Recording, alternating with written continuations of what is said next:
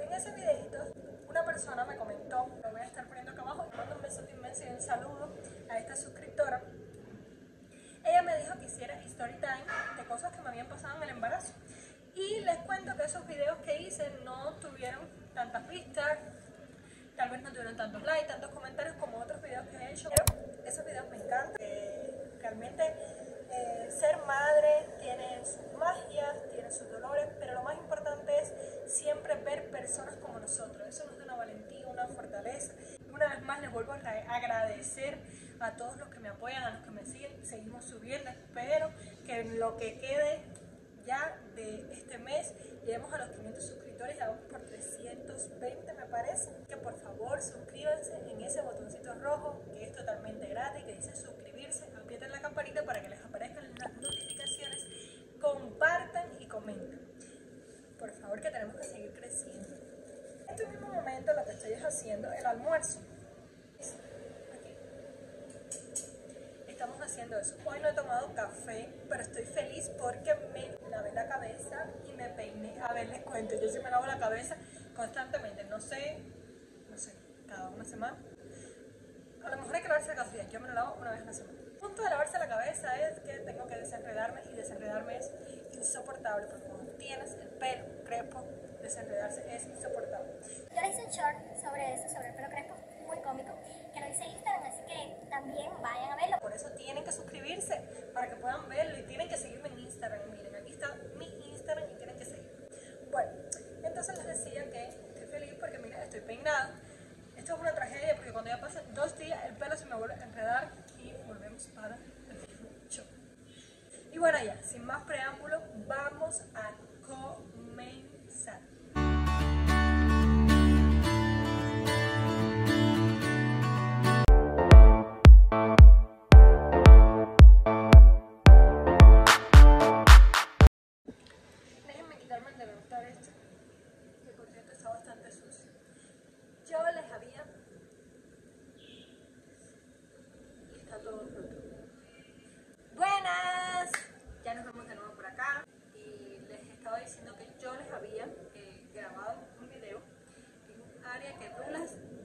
Específicamente para mí. Yo voy a coger y les voy a ustedes enseñar de todas maneras esa área ahora mismo.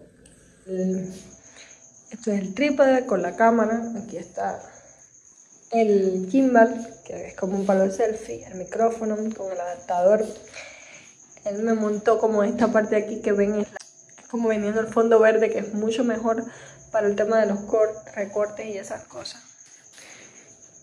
Y bueno, aquí tengo como muy regado ahora, pero eso estaba muy organizado. Están las cosas del estambre, mis agujetas. Y también tengo ahí algunas cosas de maquillaje porque cuando hago los reels a veces lo hago aquí.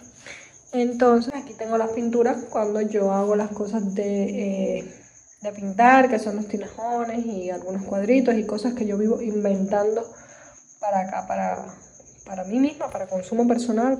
Bueno, el story time que les voy a hacer va a ser sobre el momento antes de dar a luz, es decir, los primeros días, eh, los últimos días, mejor dicho, antes de dar a luz, el día que di a luz y los días después. Nos vamos a ubicar en marzo 21 porque yo eh, di a luz el 31 de marzo del 2021, nació Daphne, así que vamos a comenzar la historia el día 22 de marzo. El 22 de marzo era el cumpleaños de una amistad de nosotros. Hacemos el cumpleaños aquí y Dula se emborracha. Yo recuerdo que yo estaba muy nerviosa porque, a ver, eh, Dula se emborrachado en su vida y yo también me he emborrachado, pero bueno, en esa etapa estaba embarazada y todas esas cosas y él también, ¿sabes? Como son las personas borrachas, como que se estaba haciendo el desmayado y esas cosas y bueno, yo me puse muy nerviosa.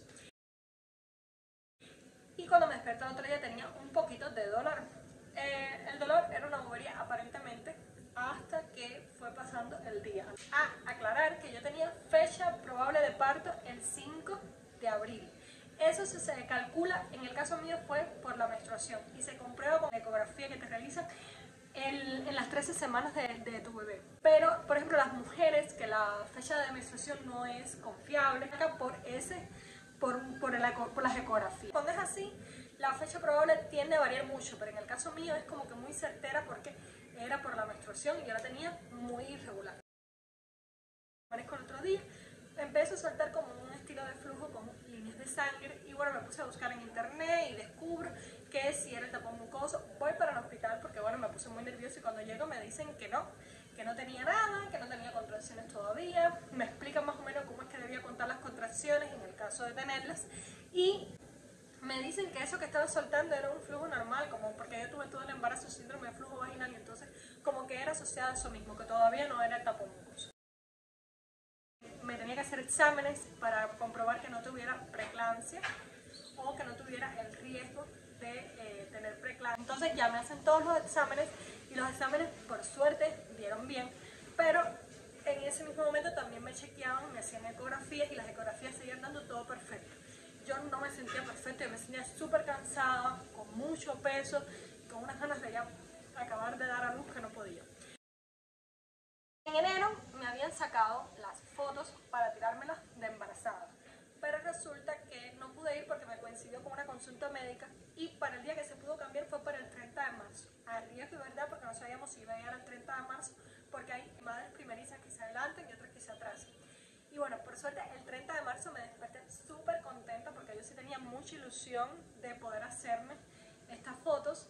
A las 12 de la tarde fuimos para allá, Dadiana, mi mamá, mi suegra y Douglas. Ahí no, no fue que hice marumacas, pero sí tuve que agacharme, tuve que sentarme para tirarme aquellas 15 fotos, pero yo estaba muy feliz. Con, llevaba rato sin maquillarme, creo que todo el embarazo sin maquillarme, sin, así que me peinaron bonito, plancharme el pelo y ese tipo de cosas y estaba muy contenta. Ahí sí no me sentía ni cansada, ni con peso, ni con nada. Ya nos tiramos las fotos, venimos para acá, para la casa. Ya llega la noche, nos acostamos a dormir. Ya ese día ni comí casi. Y como a las 2 de la mañana me despierto porque tenía mucho dolor de estómago. Ya, despierto a Dura también, voy al baño, me vuelvo a acostar y cuando me vuelvo a acostar, a las 2 y media me vuelvo a despertar con dolor. Ese dolor en ese momento no era intenso, eso se los aseguro. Lo que pasa que ya era que yo sí me percataba que era constante, es decir, venía, iba y venía, pero que al mismo tiempo. Hay un gato que viene todos los días acá a la casa, ya lo está pasando por ahí. Cuando llegamos al hospital, a las 3 y media por ahí, casi las 4 de la mañana, llegamos al hospital, me atiende el mismo médico que me había atendido todas las veces que yo había tenido en el hospital, que por cierto era una persona muy pesada. Vuelven a atender, eso te ponen en una camilla y te revisan, te hacen como el tacto y una enfermera viene y te mide después cómo tienes las contracciones. En ese caso me dijeron que yo no tenía primero me dijo que no me iba a quedar ahí ingresada porque todavía nada más tenía una contracción en 10, es decir, una contracción cada 10 minutos y debían ser por lo menos más de dos contracciones en 10 minutos. Dos sería una cada 5 minutos. Y bueno, yo le dije que no me iba a ir para mi casa, que yo me iba a quedar ahí porque yo realmente sí me sentía así, el dolor era insoportable, muy, muy, muy fuerte. Y él me dijo que bueno, que está bien. Bueno, la enfermera más o menos me defendió, le dijo que sí, que esa contracción era un día, pero era bien fuerte. Dijo que está bien, que me iba a quedar, pero me iba a quedar en el pasillo porque no había cama, en una camilla en el pasillo, en un salón de las mujeres creo que eran diabéticas pero que me demoraron parir como dos semanas todavía, o para mi fecha probable, que era el 5 de abril, no iba a parir en ese momento. Ya yo entro, me suben para arriba. En ese salón que yo estaba, había embarazadas de 5 semanas, 20 semanas, es decir, eran de tiempos menores que el que yo estaba. Solamente podían estar hasta las 7 de la mañana y de ahí no podían entrar hasta la 1 de la tarde yo me quedé sola, me llevan a hacer el ultrasonido. Cuando me llevan a hacer el ultrasonido, el ultrasonido vuelve a dar bien. Vuelve a dar, esos son como datos, cuando tú haces una proporción que pones 1 sobre 5 o ese tipo de cosas. Bueno, ahí había algo que era 8 sobre 8 y mientras diera 8 sobre 8 era que todo estaba correcto en cuanto a la vitalidad del bebé y en el caso de la placenta me seguía dando uno. Por lo tanto, la placenta no había madurado y era como que el bebé no quería nacer o no le tocaban hacer todo. Me acuerdo que en aquel pasillo yo miraba un reloj que había y eh, yo contaba las contracciones y decía, Dios mío, seguimos con uno en 10 y yo lo que quiero es o que se rompa el reloj o que me pase a ser 5 en 10, 20 en 10, las que sean en 10, aunque no pueda más del dolor, yo realmente no sabía ni qué quería, me costaba tremendo trabajo bajar de la camilla y eh, recuerdo que una de las veces que bajo para ir a hacer pipi, que tenía que pedir permiso porque yo estaba en el pasillo, en uno de los cubículos que había, eh, como que me quedé viendo así como estrellitas, parece que por el cambio de movimiento, y me asustó mucho. Llamo a antes que estaban ahí, a los médicos que estaban, los estudiantes de medicina con los médicos, y resulta que una de esas personas era una amistad mía. Toman la presión, que si yo le digo, ay, yo no puedo más, y tengo mucho sangramiento. Y bueno, ella habla con uno de los doctores. Esto era como decir a las 10 de la mañana fue ya. Entonces ya cojo y sé que hay música de fondo, pero no se preocupe. Entonces ya yo estoy gritando aquí que usted no se imagina. Esa amiguita mía va y le dice a la doctora, a su profesora, no sé, dice, mira, ella se siente mal, dice que tiene mucho sangrado. Bueno, pues entonces me ah, está bien, la vamos a revisar. Me pone, hasta ese momento mi nadie me había chequeado que no hubiese sido a la hora que llegué y la ecografía que me hicieron. Entonces cuando me revisan, ponen hasta un estudiante a revisarlo que se equivocó y me lastimó con el espéculo. Y bueno, después la muchacha me, dice al, al, estudiante, bueno ya la voy a revisar ya porque lo estás haciendo bien. Me pone a revisar y me dice, tú no deberías estar aquí, deberías estar en perinatal porque tienes tres de dilatación. Nosotros bajamos, llamo a mi mamá y le digo, mami, tengo que bajar para perinatal, ven para acá. Llámame eso, la amistad con sus compañeros me ayudan y bajamos para perinatal. Me ponen ahí con mi mamá, mi mamá llega y bien, llega en el horario de almuerzo, ya me trae almuerzo que todo el mundo me mandó, Douglas, mi abuela, ella, y a mí toda la comida me daba un asco y una repugnancia porque me sentía tan mal. Y me acuerdo que nada más me tomé dos cucharadas de una sopa. Me tenía que sentar ahí como en mariposa, esa posición de mariposa con los pies así, era buena para el, y también te ponen un cinturón en la barriga que si tengo alguna imagen le voy a poner aquí el cinturón que está conectado a una pantalla donde se van viendo las frecuencias de tus contracciones para, eh, con el tema de la dinámica, porque si cumple la dinámica que debe ser, te pasan para preparto porque ya estás al parir. Ya me ponen el cinturón y seguía mi dinámica de 1 en 10. Recuerden que una 10 es una contracción cada 10 minutos. Nada, eso no iba, nada, ni venía ni nada. Yo iba al baño cada 5 minutos a hacer pipi, a que me dolía la barriga yo no sabía ni qué tenía. Mi mamá va y le dice a la enfermera a las 3 de la tarde, va y le dice, mira, ella está aquí desde las 12 del día, no la han revisado, ella dice que le duele mucho. Yo parí sin dinámica prácticamente, le dice mi mamá a la doctora, por favor revísenla, que se... La enfermera nos dio ahí tremenda muela, como decimos nosotros los cubanos, pero al final accedió.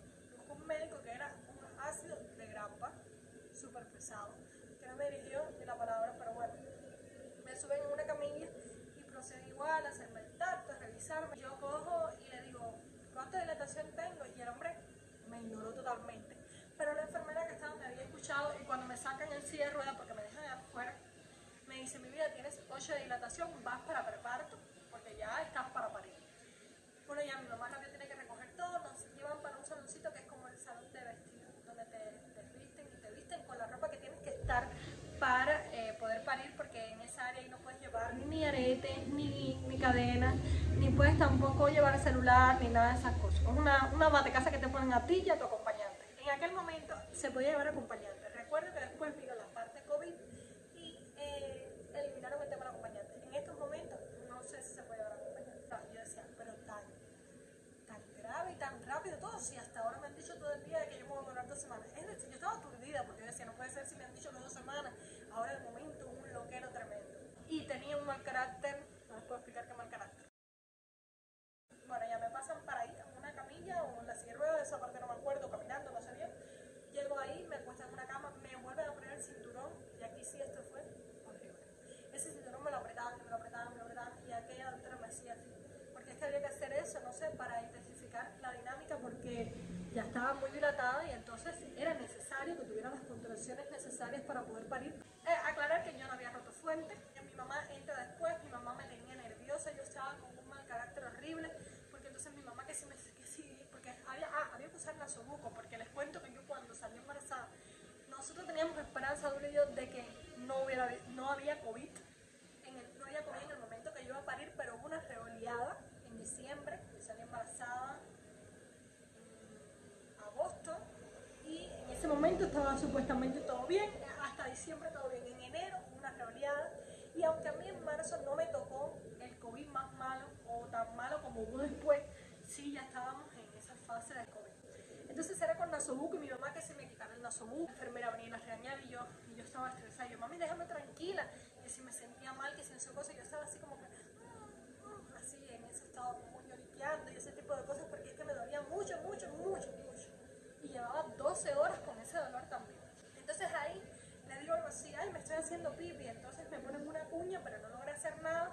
Me suben para otra camilla, otro un cuartito donde había una camilla ahí mismo cerca y ponen a que me rompan la fuente. Que igual ponen a otra persona que no sé si era un estudiante o yo no sé lo que era, que lo hace mal también. No logra romperme la fuente.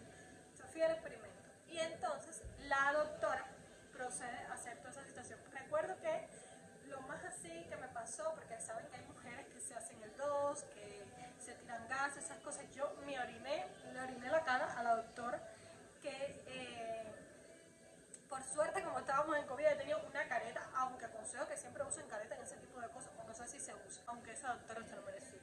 Porque esa mujer me maltrató que ustedes no se imaginan, porque bueno, yo inexperta, asustada, con dolor por horas, ella me decía algo así como que, recuerdo que me dijo algo como que, si no te pones para esto, te voy a bajar de aquí de, esta, de la camilla, o acabas de hacer esto ya, cosas, cosas muy feas, no sé, me decía cosas horrendas. Entonces pasaba que yo estaba empujando mal, porque yo tenía que empujar, pero empujaba como haciendo sonidos, como mm, algo así.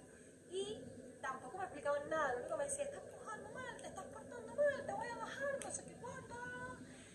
Pero había una amistad de mi mamá, que fue la doctora que me hizo el parto a mí y a, a mi hermano, la mejor persona del universo, Olga Mirta Casalí se llama ella. Eh, muchos besitos para Olga Mirta, la quiero mucho. Y ella llega, fue un ángel que llega a mi vida en ese momento. Me acuerdo que llegó así como por al lado y me dice, a ver Sofía, tranquilízate. Yo me acuerdo que le dije, me voy a desmayar y ella me dijo, no te vas a desmayar.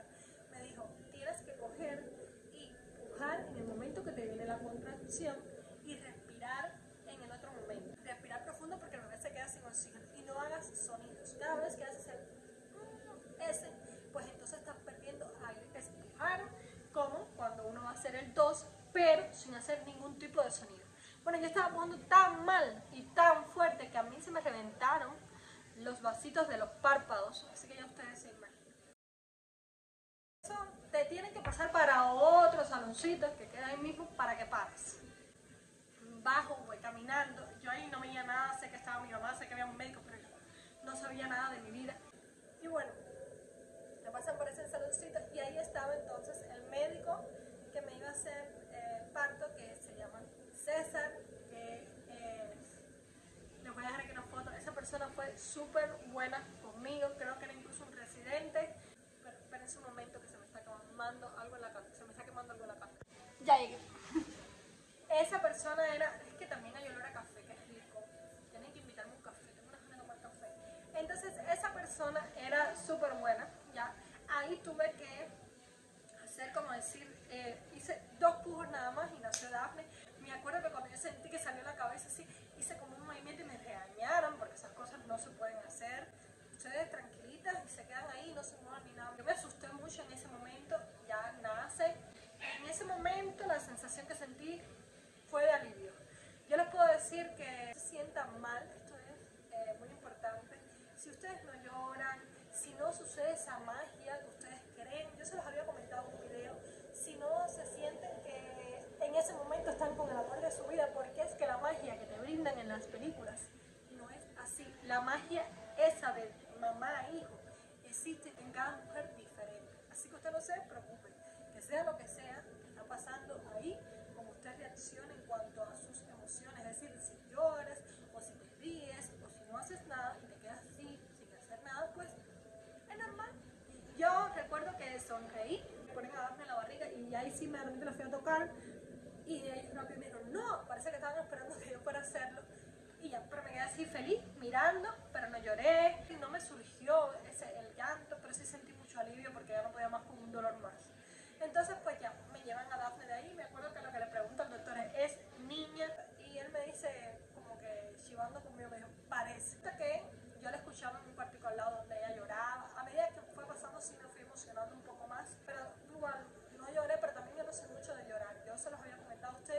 siguen desde hace tiempo, si no, suscríbanse ahora mismo, ahora mismo, que yo no soy de llorar mucho. Y por lo tanto, pues, mostré mis emociones como soy yo. Ahí tienes, ahí tienes que esperar a que le piquen el cordón y ahí sale la placenta. Tienen que verificar mi placenta porque yo tenía un, DIU, un anticonceptivo.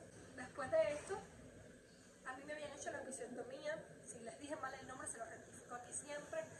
Eh, que en Cuba, sé que en otros lugares es violencia obstétrica. En el caso de Cuba, se considera como parte del proceso del parto porque eh, aquí se considera que se evita el desgarro en las mamás y por lo tanto proceden a hacer este, este procedimiento.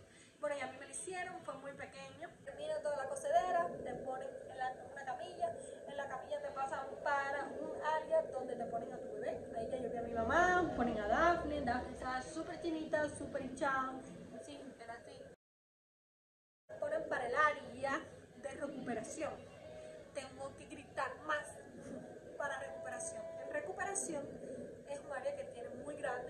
muchas camas y hay aire acondicionado. Ahí visten al bebé, eh, que ya viene envuelto como en un gusanito, si viene hecho como un gusano. Lo viste con la ropita que tú trajes. Les voy a hacer un video si quieren que me dejen en los comentarios de qué cositas tuve que llevar de Daphne qué cosas tuve, decir, qué mochila preparamos, tanto para mí como para ella, para el, la hora del parto. Entonces ahí me acuesto en una cama donde no me puedo mover y que tengo que hacer pipi, si no me dejan irme de ahí. Y eh, dándole pecho. Yo me acuerdo que ahí sí tenía un hambre que me estaba muriendo. Logré hacer pipi antes de las 4 horas y me bajaron para la sala de postparto, donde había muchas mujeres, eran cubículos extremadamente pequeños, de si acaso 4 metros por 6, donde habían 6 camas aquí, como 12 camas, y había un baño el público, es decir, un baño para las 12, no un baño personal ni nada de ese tipo de cosas, con dos tazas y dos duchas y dos lavamanos. El, segundo día ahí para mí fue una tortura, los llantos me tenían aturdida, o por lo menos, eso era lo que yo decía de por qué no podía dormir, pero realmente era porque yo tenía otras cosas. Yo pensaba que era por ¿entiendes? los llantos de los bebés. Daphne entonces no se despertaba cada tres horas porque Daphne dormía toda la noche y venía y me la despertaban. Para colmo, mi mamá, acuéstate, acuéstate. Ese, ese tipo de ciclo de vida que que es súper complicado, de cada tres horas duerme, qué sé yo, no sé, ustedes saben, o si no saben, ya van a saber. Y esa no, yo ese día no me dormí 10 minutos. Al otro día logré descansar, vino una amistad mía a cuidar y me acuerdo que estaba con Daphne dándole pecho y le dije, Dadiana, aguanta aquí, Dadiana, me siento muy mal.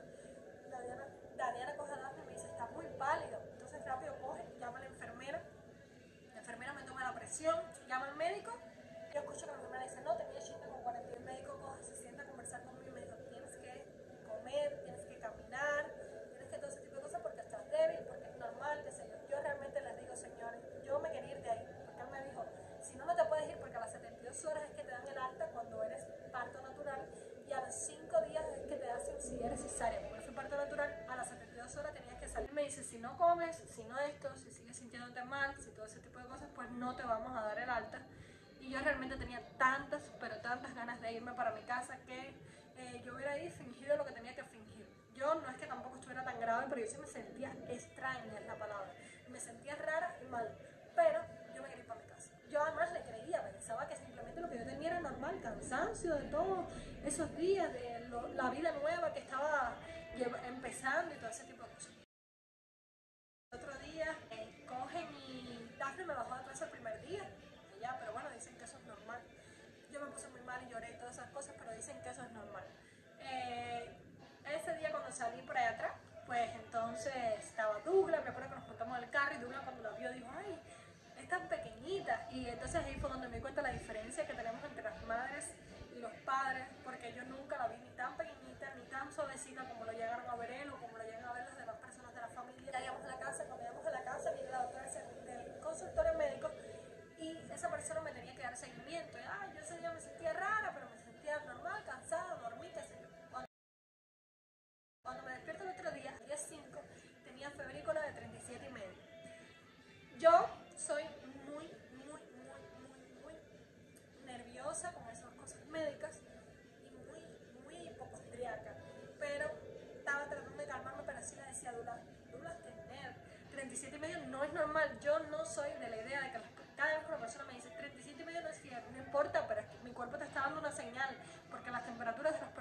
son 37 y medio. Ya, viene la enfermera y me dice a la casa y me dice que no, que era normal, que a veces los postpartos pasaban este tipo de cosas y obviamente me daba fiebre o se mantenía, pues entonces tenía que ir a buscar ayuda al médico.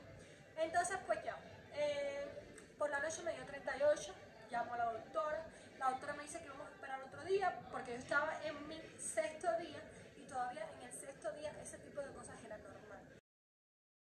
Despierto el otro día, volvió a hacer lo mismo, 37 y medio y a las 7 de la noche 38. A las 8 nos fuimos para el hospital. Además, cuando me estaba bañando ese mismo día, en el baño me sentí claro, como que se me reventó la vida y eran que se habían reventado los puntos. Entonces ya nos vamos para el hospital, cuando el hospital todavía tenía 38, incluso creo que 38 y medio. Y me empiezan a hacer una serie de pruebas, análisis, ultrasonido para ver si habían quedado restos. Me revisan en, el, en la herida y obviamente tenía la herida infectada. Me hacen una serie de análisis y me ponen en un lugar. Yo dije que me tenían que dejar con Daphne. Esa etapa era complicada aquí con el tema de COVID, todo ese tipo de cosas, pero es que yo estaba funcional, yo estaba fuerte y yo podía. Y además a mí me iban a poner incluso estos medicamentos vía oral. Yo no quería que Daphne perdiera la posibilidad del pecho. Ahí me ubican en un lugar que es donde ponen a muchas mamás después de especiales, que es como intensivo. Y ese día me acuerdo que lloré mucho porque yo no me pude despedir de Douglas. En la, él fue a buscarme agua y ya me subieron sin que él hubiera llegado así. Yo estaba ahí con mi mamá y me subieron y yo no me pude nunca despedir de él. Y yo entonces que pensaba que si yo me moría no me iba a poder despedir de él y todo ese tipo de cosas. Los análisis dieron positivo a una bacteria, no sabían qué bacteria, no, que no sé si se había, no sabían ellos si eran en el salón o era por mal aseo mío, pero tenía una bacteria en los loquios loquios son la sangre que uno suelta del útero después de haber parido y en, eh, en, la, en, la, herida, ¿no? en la herida que tenía cocida. La herida llevaba cura, y bueno, para el tema de los loquios llevaba antibióticos, entonces me dicen que tenía como decir, es decir, eso era una sepsis, ya, algo así, y que bueno, tenía que quedarme ahí pero que al quinto día, como no era tan, es decir, hasta ese momento yo estuve hasta, el quinto día, cuando salen los resultados me dicen que eso era peligroso y que podía generalizarse en todo el cuerpo, yo tenía el leucograma bastante alto y que por lo tanto tenía que esperar al séptimo día, que era el día que terminaba el tratamiento. Yo les digo la verdad, yo estaba asustada, pero también estaba asustada porque les expliqué que estábamos tiempo COVID y Dafne estaba ahí y Dafne estaba en riesgo de, estar, de coger el COVID ahí. Entonces ya coge y eh, pasan los 7 días. En los 7 días yo no hice más fiebre. Las curas al principio no dolían, después dolieron mucho. Bueno, después de esa gran cura, pues entonces mejoró mucho mi dolor y mi ardor y todo lo que estaba sintiendo. Me acuerdo que tuve que dar el yodo porque en el hospital no había yodo. Ustedes saben la situación que hay en Cuba con los medicamentos, que es lamentable. El séptimo día me dicen que no me puedo ir, porque después del séptimo día hay que valorar 72 horas a ver si el antibiótico hizo efecto de verdad. Aquí voy a decir algo, yo estaba muy molesta porque a mí no me hicieron un antibiograma. Y si al séptimo día me decían que ese antibiótico había hecho, el error era de ellos. A mí no, el antibiograma es un análisis que se hace para saber si el antibiótico que te están poniendo es el antibiótico de verdad que te hace falta. A mí nunca me hicieron eso, me pusieron ese antibiótico y ya. ¿Por qué? Porque no hay láminas o por 20.000 cosas más que tú no lo sabes ahora mismo. Ni yo tampoco lo sabía en ese momento. Yo cogí y le dije, mamá, yo me voy para mi casa. Dafne no va a estar un día más en este hospital, aquí hay COVID, ya habían cerrado un cubículo, como dos cubículos más habían cerrado porque había COVID adentro. Y yo no me imagino tener que estar 14 días más con un bebé ahí porque cerraron mi cubículo, ni tampoco que cogí ese COVID. Y entonces no, me dije al doctor, si me voy tengo que firmar un papel, no, te vas y yo se fuga. Y yo realmente les digo que no está bien, no se vayan de donde, de donde ustedes se encuentren, no, eh, no hagan indisciplinas, pero realmente yo consideré que era lo correcto y lo considero todavía día de hoy en ese momento, porque mi nené no podía coger COVID, porque yo no quería estar un día más ahí, porque no podía dormir, porque yo no podía comer bien, nada, yo no quería estar más ahí, ¿ya? Vine para mi casa, pues nada, eh, ya después de esos días me dieron seguimiento por el consultorio y hasta el sol de hoy pues no ha habido más problemas.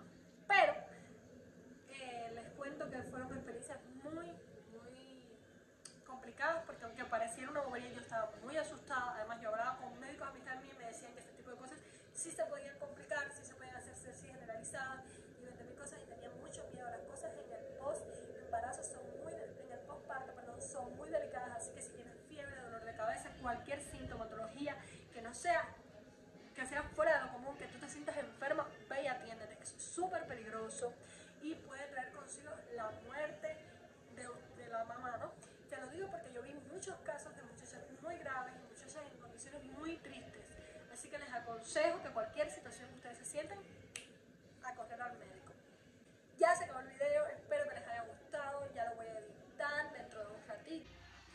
Espero que el videito de hoy les haya gustado y espero que el videito de hoy les haya gustado, que se suscriban, que compartan y que aprieten la campanita para recibir más notificaciones. Además de eso, les quiero comentar que si quieren que les haga más story time, me lo comenten, todo lo que ustedes quieran que yo les haga, me lo comenten. Que me sigan en todas mis redes y que nos vemos.